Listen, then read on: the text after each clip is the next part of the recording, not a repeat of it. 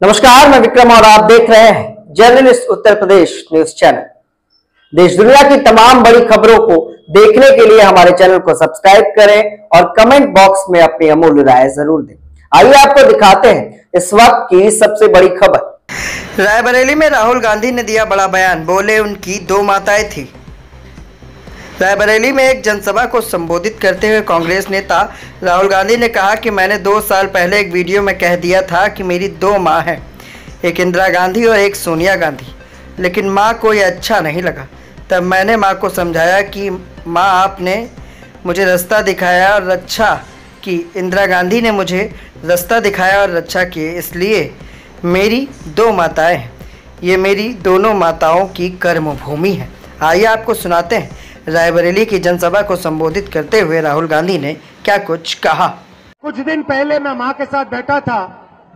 ये हमारे social media वाले जो हैं, ये वीडियो ले रहे थे।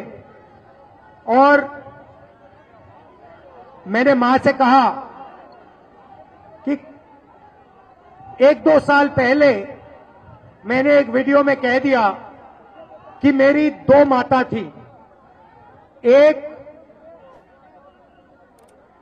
सोनिया जी और दूसरी इंदिरा गांधी जी।